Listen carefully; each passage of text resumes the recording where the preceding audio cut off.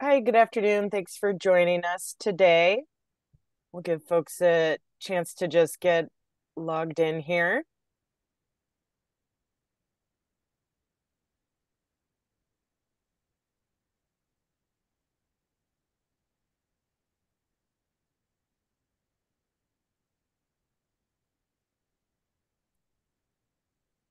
All right. Just wait another minute or so and then we can get started.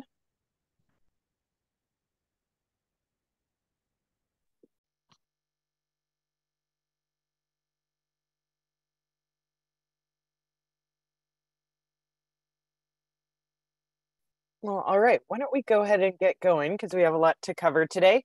Um, I'm Jennifer Ewing. I'm the Sustainability Manager with the City of Bellevue. Thanks for joining us. This is our second in a series of three lunch and learns um, uh, that are part of our Sustainable Bellevue Plan implementation. Uh, all three of the lunch and learns have a, a theme around environmental justice and equity our first lunch and learn was on air quality and land use planning. This one today is on um, some of the work that our comprehensive plan team has done on the racially disparate impacts analysis, which is helping to inform our comprehensive plan update. And then we'll be doing another lunch and learn on September 26 on our climate vulnerability assessment. So I'll just go ahead and introduce our staff who will be presenting um, and then they can go ahead and get started um, Kate Nessie, who is a senior planner in our uh, planning department, um, will be presenting on the racially disparate impacts analysis. And then Sophia Fall, our sustainability program coordinator, will present on our environmental stewardship work and how we're we are using a racial equity lens in that work. And then we'll have some time for Q&A after Kate's presentation and then again after Sophia's um, for Q&A and, and, some discussion. So thanks again. And uh, Kate, I think we can hand it over to you to present.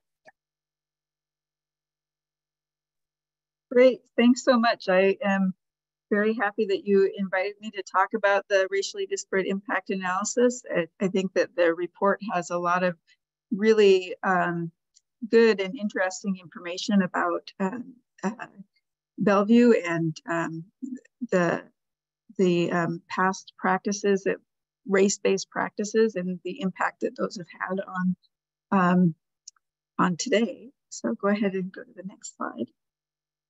We'll say that the reason that we did this analysis, uh, although it was interesting and certainly something that we wanted to know more about, but it is required under the um, recent additions to the Growth Management Act and it's specifically in the housing section of the Growth Management Act. Um, and so most of um, most of the analysis is around housing. So um, the racially disparate impacts on housing, di housing displacement, and exclusion in housing.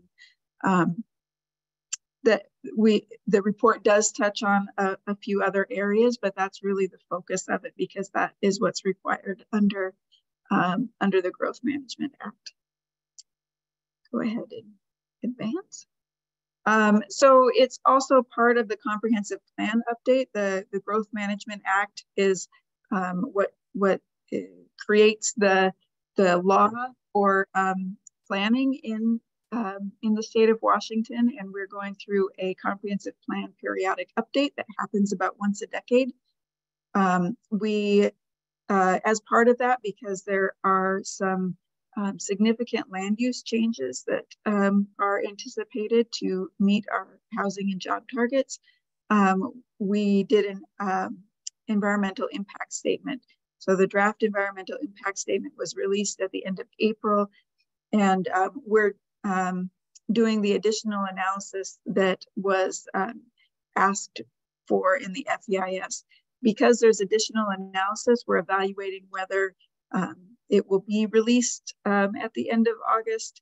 Um, it may uh, be released uh, later than that. Um, so just a little update on the where we are in that process. Uh, you can go to the next slide. This is what everybody wants to know. Where can I read this analysis? And um, we are looking at ways to make it more accessible. We will be posting it on Engaging Bellevue. Um, and uh, but right now, if you want to open it at this moment and read it, um, you can uh, access it on the comprehensive plan webpage and it's under the update timeline and it was released in I want to say June so you know it's it's around the June timeframe um, on that timeline. Uh, go ahead and advance the slide. Also, if you have ideas of where it should go on the website, please let me know because we want to make it more accessible. So the the racially disparate impact analysis, um, it's basically has three sections. Um, it has some um, recommendations on um, uh, actions and policies that um, that the city should consider. Um, it has a uh, overview of the current conditions, um, and then it also has kind of a, a history and from the folks that I've talked to, a lot of them find the historical context incredibly um, interesting and um, uh, new information. So uh, I encourage you to um, go to the comp plan website and, and take a look at the document. So in terms of the historical context, if we go back um, all the way to the, the dawn of the, uh, you could say the European era of this area, um, there was uh, a, a, a lot of activity to try to push the people that were already here um, out of the area so that the newcomers, the uh, Europeans, could um, uh, go do mining and farming and um, other activities. Um, so there were a series of, of treaties that were signed. Probably the most um, well known is the Point Elliott Treaty and uh, they were signed between this nascent government and the native people to um, sort of push the folks into ever smaller areas elsewhere in the region so that the newcomers could come and use the the resources that were here and to build homes and um, and all of that. Go ahead and advance the slide. Um, so um, as this area was building up, there was a lot of immigration um, to um, support all of that growth. We needed a lot of people to um, work on the railroads. There was also a um, smaller gold rush up here. Um, and, and then, of course, there are all the jobs that support people that were, are coming to seek gold. And that was supported by um, Chinese immigration in the mid 1800s. Um, and then in the early, so Chinese immigration was uh, prevalent in the mid 1800s. The federal and state governments enacted laws to limit uh, uh, immigration from China. And, and so that uh, sort of went down. And in the late 1800s and early 1900s, there was uh, more immigration from Japan. And in our area specifically, um, there was a lot of uh, the new Japanese immigrants um, focused on farming and probably most famously strawberry farms, but other types of farming as well. Um, during all of this time, we had the alien land laws that um, limited um, how um, the new immigrants could, from Japan and China, could interact with the land, whether they could own land, whether they could become um, citizens. And so the, the, the structure of, of laws that they were operating under was um, systematically different from the system of laws that would apply to, say, my ancestors from Scandinavia. So um, the, I mentioned the Alien Land Laws, the Chinese Exclusion Act was in the 1800s to try to minimize the immigration from China.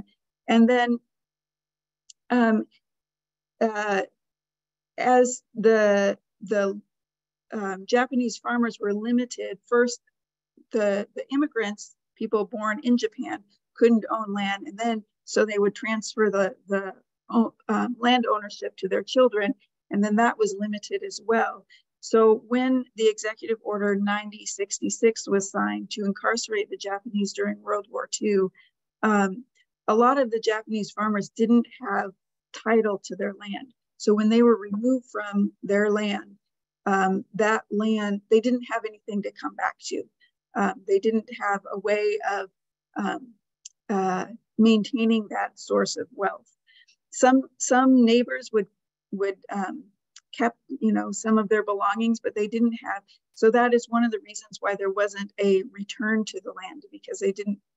The land was they were precluded from owning the land in the first place.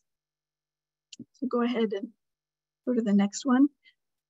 Um, during the first half of the 20th century, there were uh, a number of ways that um, the local governments, um, it, you know, throughout the United States, um, would limit the who could live in certain places and um, restrict uh, people based on race. So one of the um, well-known ways of doing this was through deed restrictions uh, on properties. Um, so when a, a, developer would develop, you know, a bunch of houses, they would um, put a restriction and say um, this this property can't be um, occupied by anybody um, of these certain races or anybody except uh, white people, and um, that was a technique that was used in the first half of the 20th century. Beginning in the 1940s, it um, there were some federal laws that limited that um, a little bit more, so it became less used. Um, but there were other um, mechanisms that were not legal. I mean, not illegal. That there were the non-legal mechanisms that were used to limit who could live where and who could acquire what type of property. Um, so, for example, if I were buying a house, um, the the real estate agent would only show me houses in white areas of town, and the bank that would be um, underwriting, giving me a loan to buy the house, would only loan me the money for um, houses in white areas of town.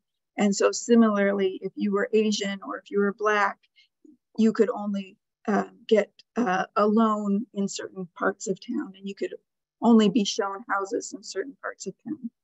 And so this whole structure really limited the ability of um, non-white people um, to acquire wealth.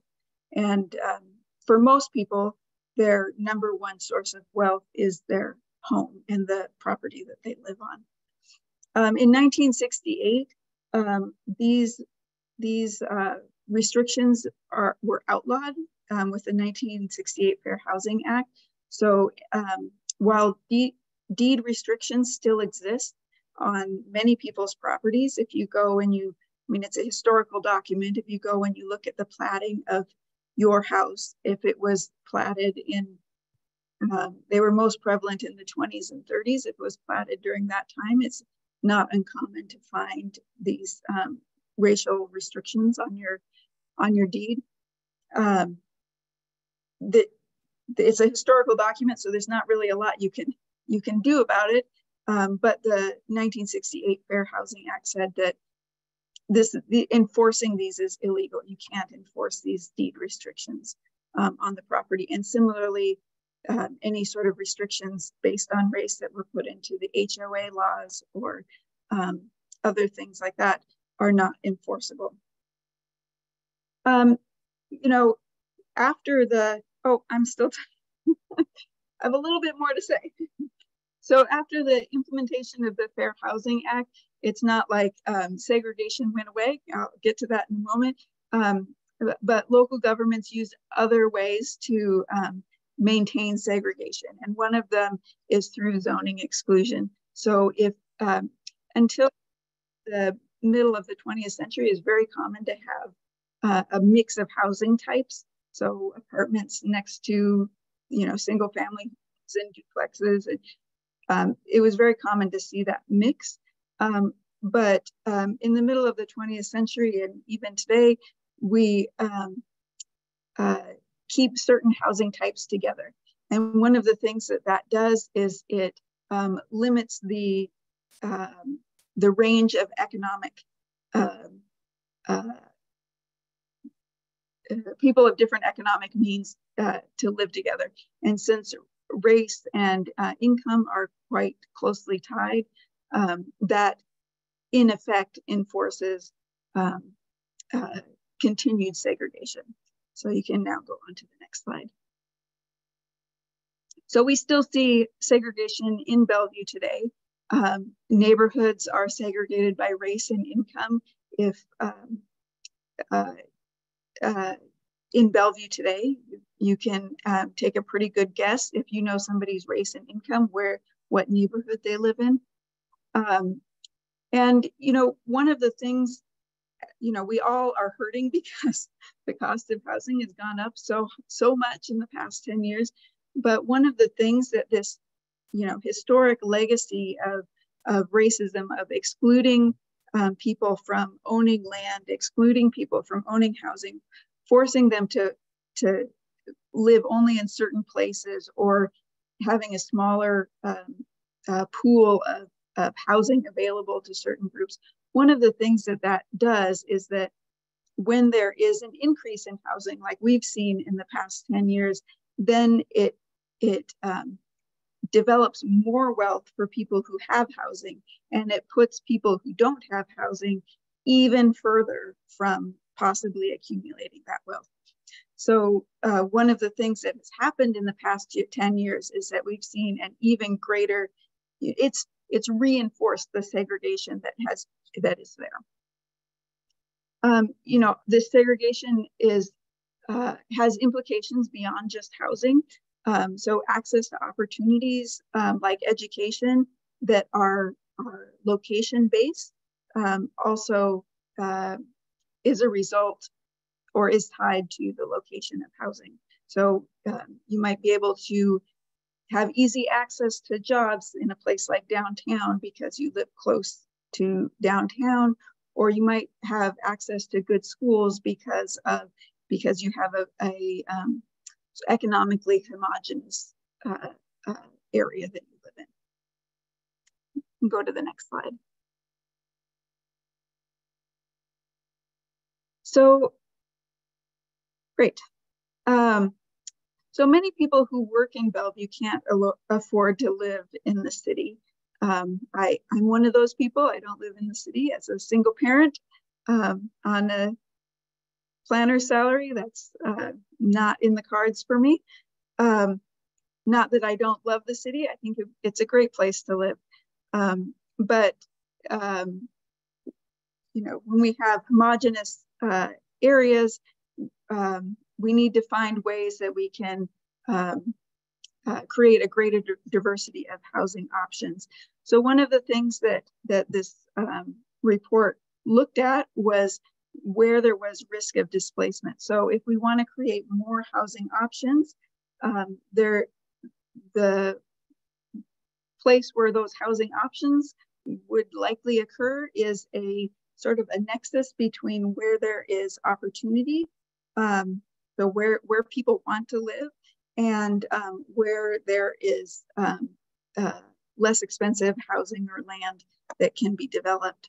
And so the, the report found that the displacement risk, the, the nexus between those two, was highest in the Crossroads, Lake Hills, Wilburton, and uh, neighborhoods and in and around downtown as well.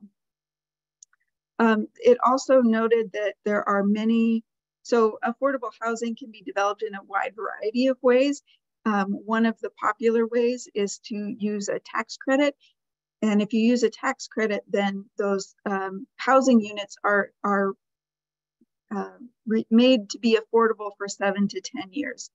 And so um, that uh, those that that range, that seven to 10 years, is expiring for many of the um, affordable units in the city. And so um, we need to look at, well, how can we um, extend that or how can we develop more um, affordable units within the city.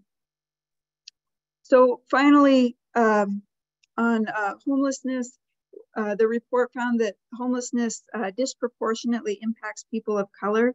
um, as you can imagine, if a um, group has been systematically um, prevented from uh, accumulating wealth, from having access to opportunities, um, from um, uh, you know being in in places that um, are are good for for health, that when um, the the factors that contribute to homelessness occur, that they have fewer resources to rely on and are more likely to become homeless.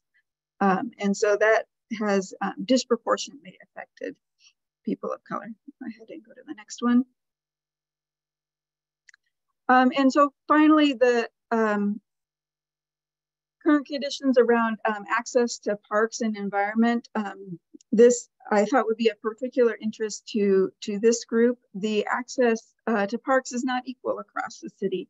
And um, the places that um, are um, more white and more wealthy tend to have better access to parks. And the places that um, are poorer and uh, less white have less access to parks. Um, and uh, uh, so that I know that's something that is important to our Parks Department to rectify, but it's also something for us to consider as we're updating the comprehensive plan. Um, also, the environmental health, health risks are not evenly distributed. Um, uh, uh, non-white folks are more likely to live in areas that have more um, health risks uh, as well. Last slide. So finally, the, the um, report came up with some um, policy suggestions. Um, it noted that the current patterns of disparity are um, are baked into our city. They they started well before our city started, and um, the if we continue with our current development patterns, we're going to continue to perpetuate those disparities. And so uh, the report had some recommendations for measures, steps that we could take to start to um, address these the historical racism that has shaped um, some of the um, segregation in the city today. Those uh, specific suggestions are um, in the comprehensive plan. We have um, language that's not very specific, so it's like uh, in the character of or as appropriate. And um, when the language is not very specific, it can um, be applied uh, in an inequitable manner. So it can be applied to some people more than others, or um, uh, some places more than others. And so they suggest to use specific language. So rather than say, um, uh, you know, uh, as appropriate to say, to spell out what is appropriate. Um, it also recommended to engage impacted communities and especially those with um, less power process.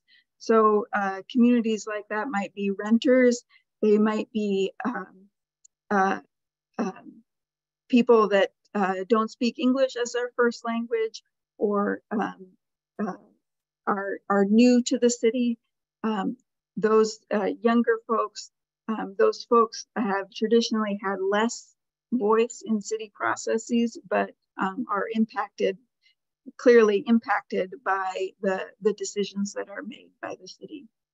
And then uh, finally, considering, they suggest considering the historical context um, as resources are distributed. So when we're looking at where parks should be should go, um, we need to look at well, why is there no park in this part of the city? And um, what can we do to counter those um, that, uh, that, historic um, and systemic racism that may have caused you know a particular um, uh, system that is occurring today? And then think about well what can we do to counteract that so with that, I'll stop. I've seen, I haven't read the questions, but I've seen balloons popping up.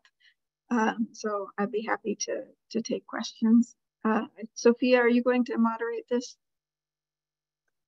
Yeah, um, so I know some people have been putting questions in the chat. Um, can we start with some of those? Yeah, I think there was um, some questions about defining displacement risk a little bit more clearly, and then um, with that sort of, I think maybe you answered at the, the very last bit about how that's being addressed in the um, in the comp plan. But if you just wanted to maybe dive a little bit deeper into the definition of displacement risk.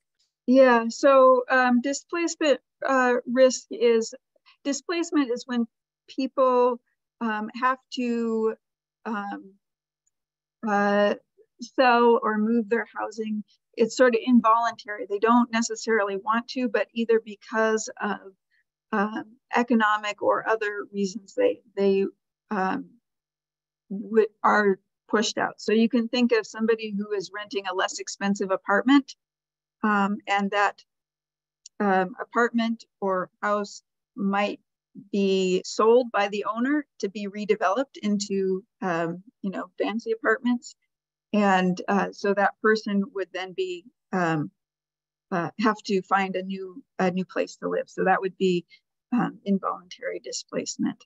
Um, uh, so, you know, we're looking at different ways in the comprehensive plan to to address that. Um, uh, one way that the Planning Commission has discussed is to um, look at areas that uh, uh, to be strategic about where um, uh, where places are um, having uh, more development potential um, and, and to make sure that some, there are some areas of the city um, that maybe have um, naturally occurring affordable housing to keep those not increase the development potential in that area. Um, so that's one way. Um, there's there are other policies that the Planning Commission can consider as well.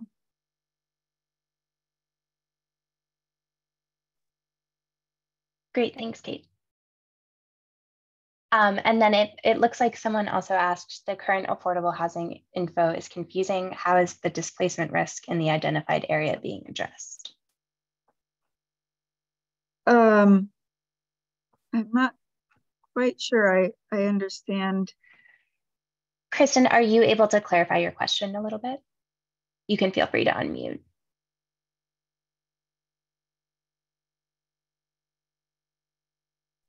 What, I can unmute? Uh, so it looks like the comprehensive plan options um, identified some areas that would be subject to upzoning um, for more housing. Unfortunately, it looked like tons of those were existing dense and in a lot of cases affordable housing. So if you have three story apartments, um, there's a lot of people there. And if you want 10 story apartments and your plan is to tear down the three story apartments and replace them with 10 story, you're displacing all of your most vulnerable population and and it's not very environmentally friendly because you're tearing down and throwing away buildings and building new buildings and um, it just looked like a, a huge potential problem. Uh, and and so what was just said just now wasn't that and so maybe it's being considered.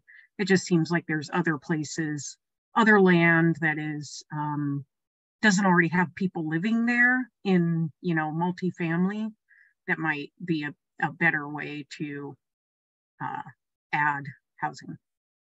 Yeah i think that's a really a really great point that like the only way to um, you know according to economics supply and demand the only way to get um, housing to be a more reasonable price is to have sufficient supply of housing to meet the needs of the people who are looking for housing.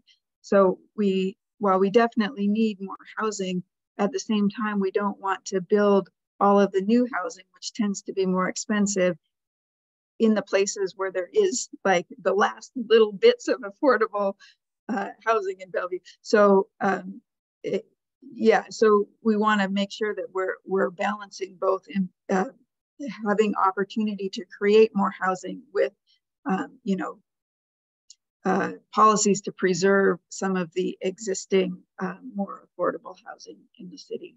Um, so that, yeah, that's a, it's a hard balance to hit. And uh, that was a good point.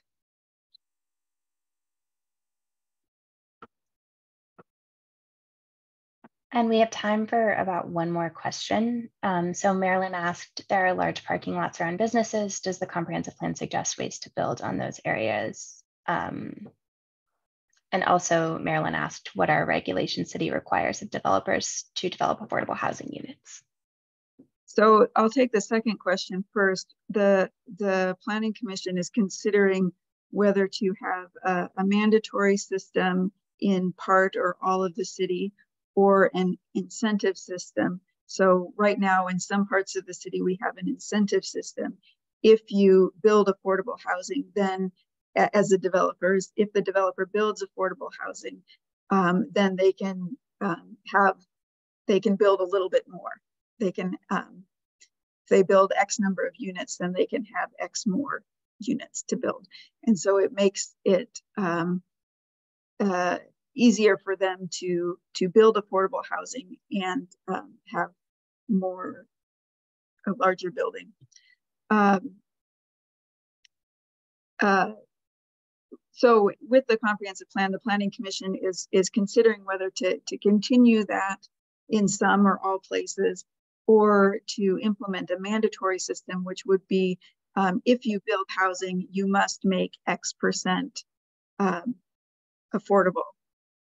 Um, and and so um, that's one of the things that they're they're looking at at um, doing. The other cities around us um, do have a mandatory system. Redmond and Kirkland both have mandatory systems.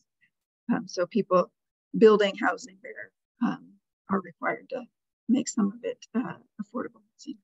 So is the fact that you have um, non-mandatory, is that a function of a city council decision, or is that um, some uh, sort of management administration? It seems like mandatory is the way to go.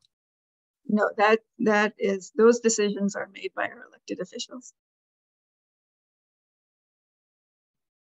Um, and we'll just go with one last quick question. Claire asked, what is considered affordable?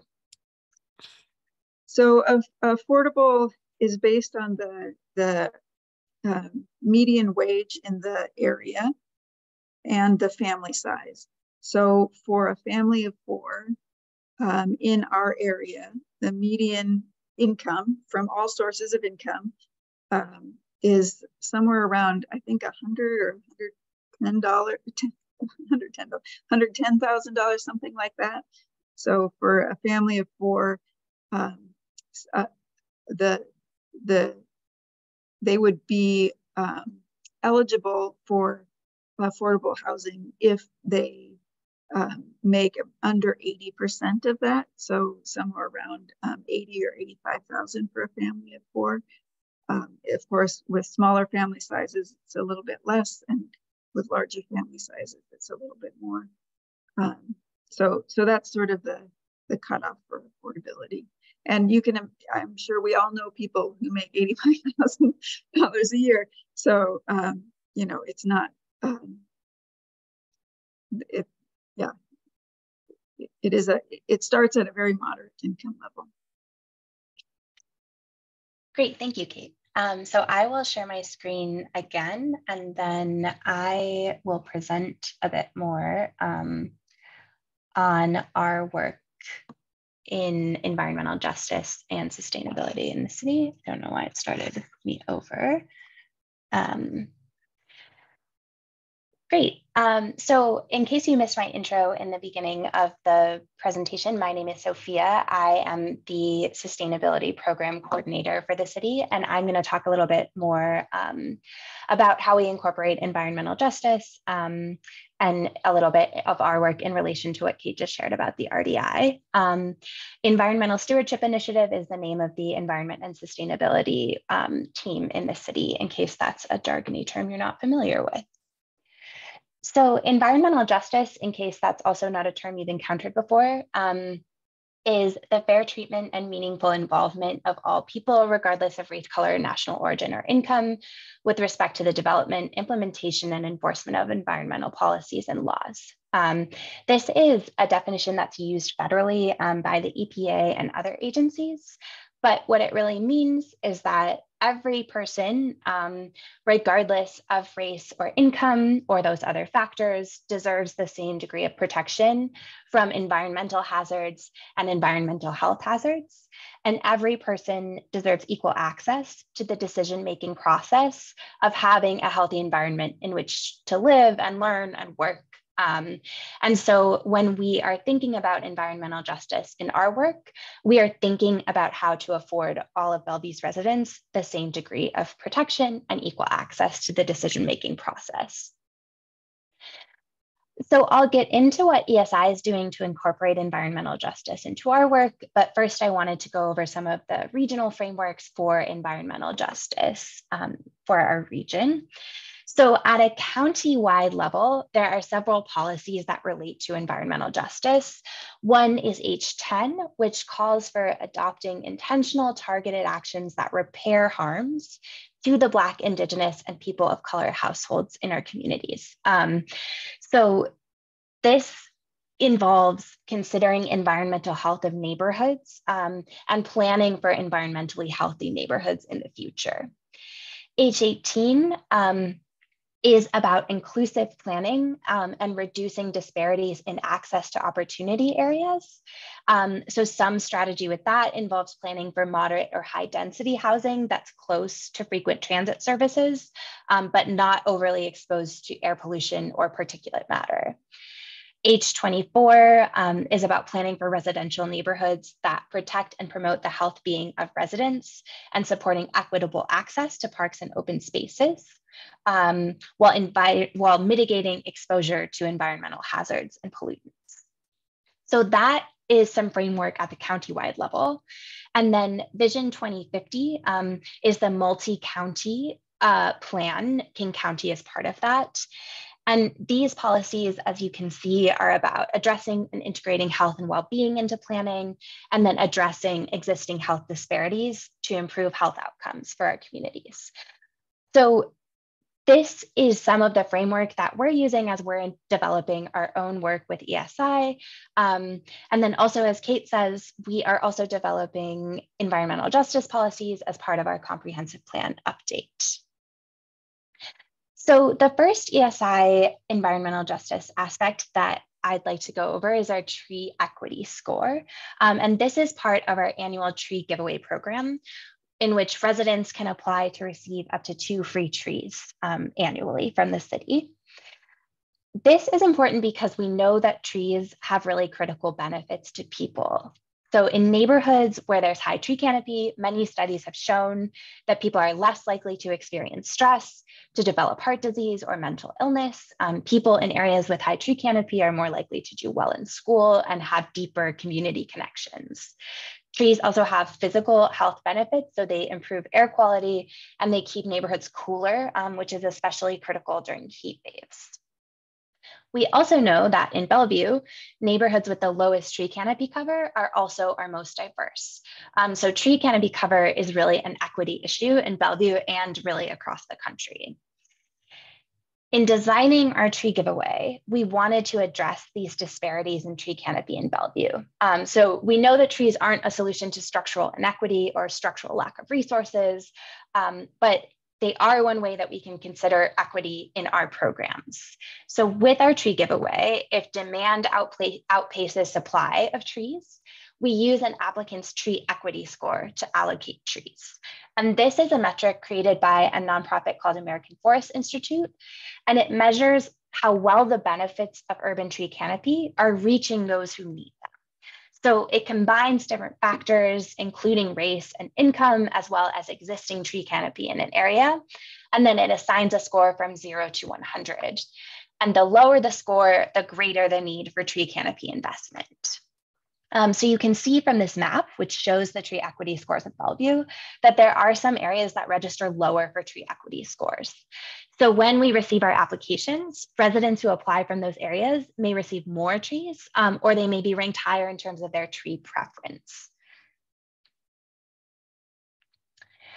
We also run programs through the Energy Smart Eastside. Um, so Energy Smart Eastside supports residents in the East Side cities of Bellevue, Redmond, Issaquah, Kirkland, and Mercer Island in switching to heat pumps, which if you're not as familiar with heat pumps, they are an energy efficient and fully electric way to cool and heat a home. And they also cost less to operate than traditional heating systems. So we have a few equity lenses through the Energy Smart Eastside program. Um, one is our Boost program. In the Boost program, households with an area median income below 80% um, are eligible for 100% cost coverage of a heat pump and installation.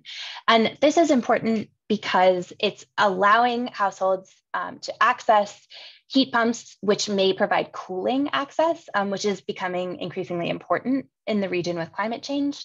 And also, once it's installed, the operation costs for heating the house um, for many of those households are much lower than their previous uh, heating sources.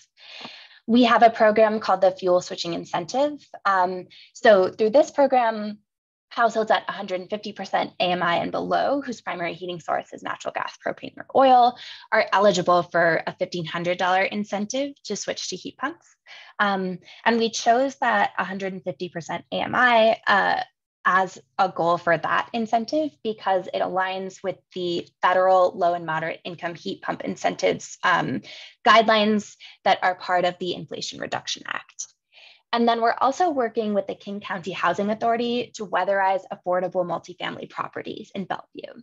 So this program supports low-income residents in both single-family and multifamily buildings um, to weatherize their properties, which helps make them more energy efficient and also increases climate resilience. So right now, these programs only consider income um, in terms of equity, but as we expand them and have further funding streams for heat pump incentives, um, it's possible that we may be able to introduce other lenses as well in the future. We're also at work on developing our electric vehicle roadmap. Um, so this is work that we are just now starting. Um, we're just getting it underway. And in developing our roadmap for electrifying our whole transportation infrastructure, including um, people's electric vehicles, we are asking questions that will help frame our EV transition in terms of environmental justice. So one element of this is to look at where charging stations are now.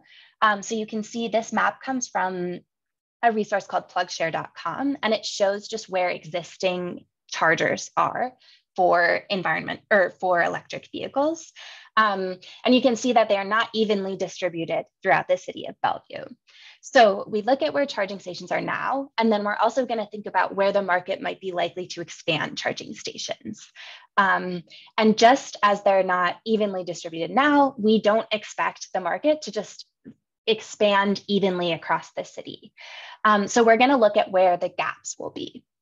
And we can anticipate that the gaps in charging infrastructure will most likely impact low income neighborhoods. So, as we develop our electric vehicle roadmap, we'll be looking to address um, where the gaps are in EV infrastructure and how we can serve low income neighborhoods and communities of color um, in this transition. The city is also at work on a climate vulnerability assessment. Um, so it will be released in late September, and this is only a preliminary figure at the moment. Um, but the climate vulnerability assessment involves kind of looking at which areas of the city are most vulnerable to climate change using something called a climate vulnerability index. And the CVI takes into account a lot of the factors that we've been discussing uh, throughout this session, like race and income, which determine where vulnerability to climate change is the highest. Um, and this is because of all the structural factors that Kate was discussing um, that make certain groups more vulnerable to impacts or less able to recover from climate impacts than others. There are other factors um, that might make someone or that tend to make groups more vulnerable to climate impacts. These include outdoor workers, people with existing health conditions, um, people without high school degrees, and as with all of these factors, these can be really intersectional. Um, people of, who are lower income, people of color are more likely to have many factors that contribute to vulnerability to climate change. Um, so if you're more, if you're interested in the climate vulnerability assessment, um, in the climate vulnerability index, we really encourage you to register for our next lunch and learn, where we'll be able to talk about this a little bit more in detail um, and also discuss a little bit more about how our climate resiliency can respond to this and incorporate environmental justice. And then we also are looking to incorporate environmental justice into our future work um, and our future funding opportunities. So the Washington Environmental Health Disparities Map um, is created by the Washington Department of Health. And it's an interactive mapping tool that compares communities across the state and then within cities for environmental health disparities. So it combines different metrics, including um, diesel emissions, air pollution, exposure to ozone, and hazardous waste sites.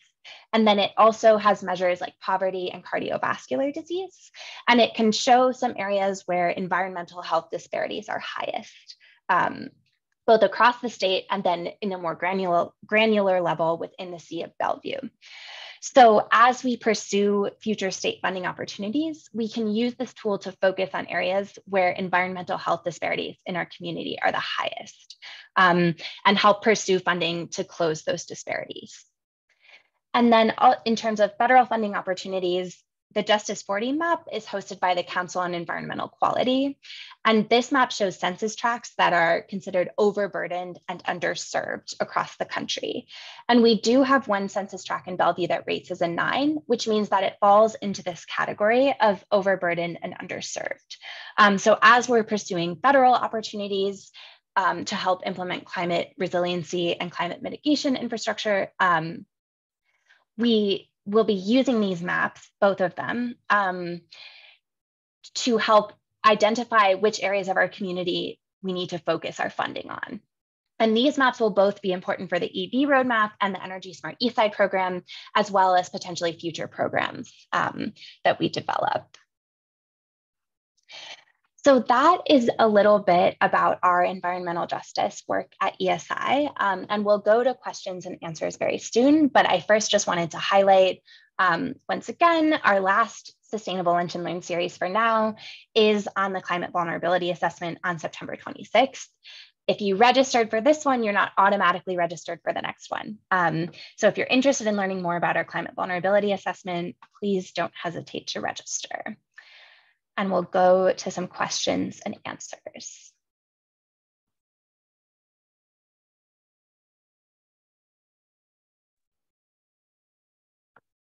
Um, so it looks like. I think Heidi has her hand up.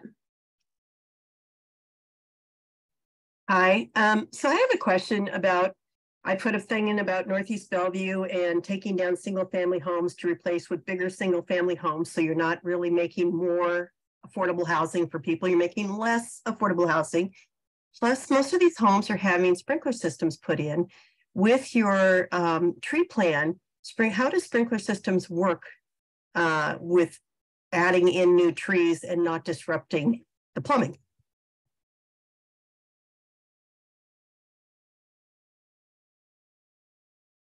Uh, I can try to answer this one. I'm trying to see if there's anyone else who might have a better idea. I think um, for established trees, you know, there's really less of a need to water them. The watering needs for trees are really, in particular, in the first um, five years, and then normally they should be fine after that.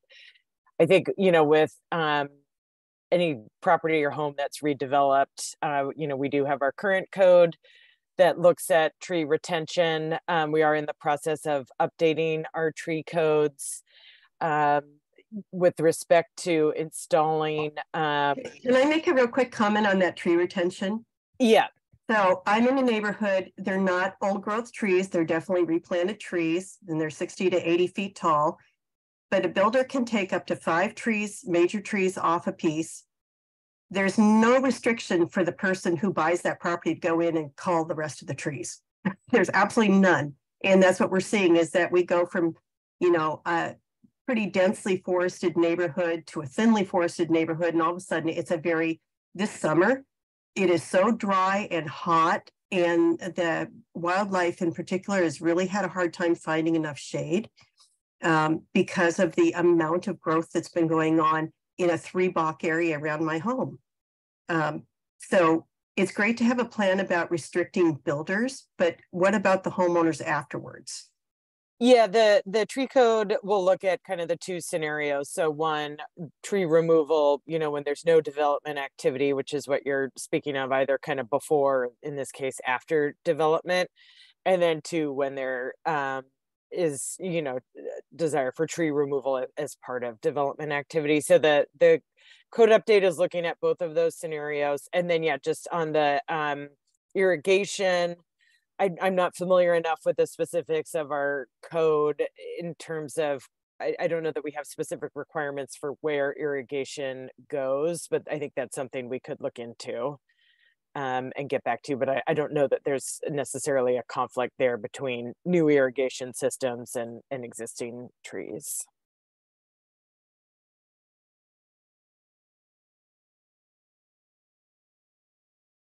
Um, let's see maybe next question. Yeah, are there any other questions? Um, either feel free to put them in the chat or you can also feel free to just unmute yourself and ask.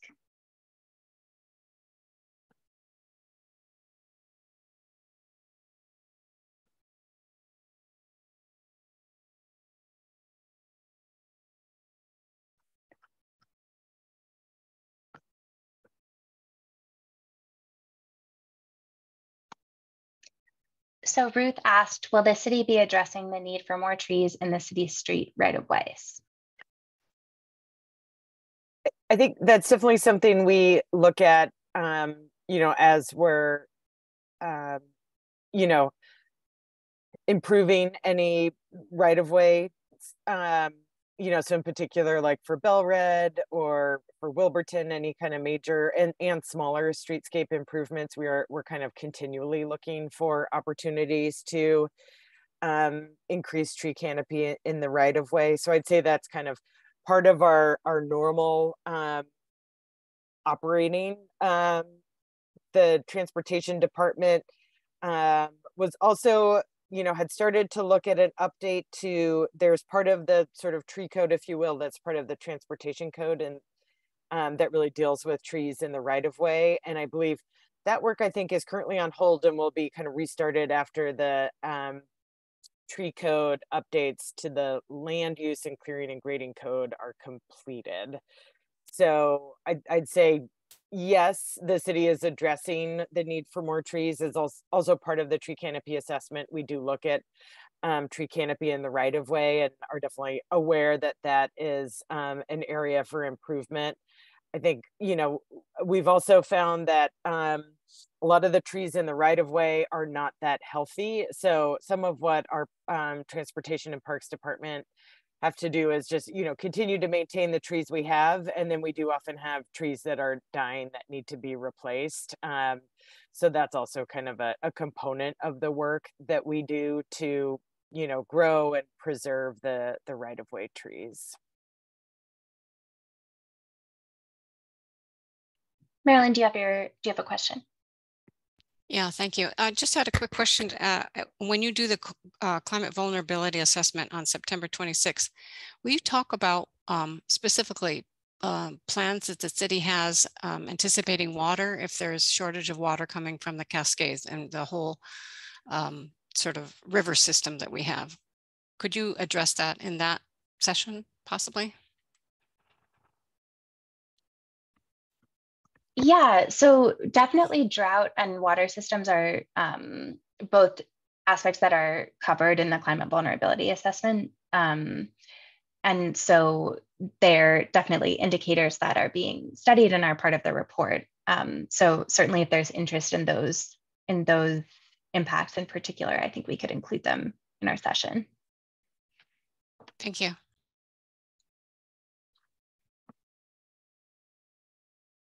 Are there other questions?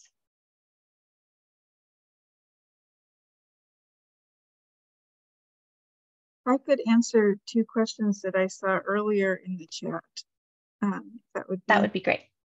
So there was a question about um, the development of pocket parks in multifamily areas. Um, the Parks Department is um, in their park acquisition uh, plan. That is an area that they are are focused on is to make sure that uh, multifamily areas have um, access to parks, especially because they have less private um, uh, access to nature. Um, another thing that's uh, under consideration um, in the update to the comprehensive plan is um, policies that around um, bonuses for the development of parks or dedication of land to to open space. So that might mean that you know, if you dedicate a certain amount of land, you can build hires to, to make up for not being able to build across. Um, so those are two that it's definitely something that we're concerned about and we're watching and um, and looking for for ways that we can um, increase access to the to parks in multifamily areas. The other question was about the development of, of um, very large homes. Um, and Heidi mentioned this earlier. Um, that's something that we see a lot in areas that have a lot of access to opportunity. So areas uh, like around downtown, um, we uh, in South uh, Bellevue, um, we're seeing more of it in the Eastgate area, and um, certainly it happens throughout Bellevue. Because Bellevue is a great place to live. So um, when people see the opportunity to, to redevelop a property, they often um, will take advantage of it because they know that that this is um, a very a place that people a lot of people want to live, and so they're willing to pay a lot of money for it. Um, as Heidi said, it doesn't really add to the housing in the city. We don't get uh, a net more housing, and so um, that's something that we're looking at um, in the comprehensive plan it also is related to um, those those um, justice uh, themes that um, I was talking about earlier. These areas are close to to opportunities, many of them, and so we don't want to have that um, high opportunity area restricted to a small number of wealthy people. We want to make it have access to more people, and so if they're um, so with the HB 1110, which um, allows the development of more up to four um, units on, on any parcel, that is something that could um, allow for the development of, of more housing instead of just restricting it to um, one very wealthy family. It could be more moderate families. So some things to think about. Yeah, thank you so much, Kate. Um, and we're we're right up about on one o'clock. So I just wanted to thank you all so much for coming. Um, please feel free to reach out to me or Kate if you have any questions about our presentations. Um, and we hope to see you all in September on September 26th for our final summer lunch and learn.